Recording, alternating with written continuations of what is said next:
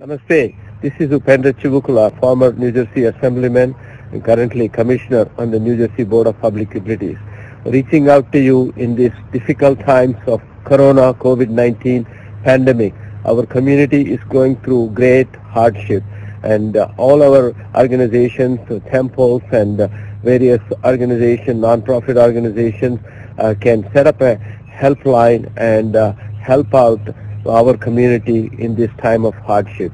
Sewa International has been doing phenomenal work reaching out to all the dharmic organizations and uh, reaching the getting this sankalp as well as the uh, asking them to set up the helpline and please uh, support and all the good work that is being done by Sewa International. Namaskar.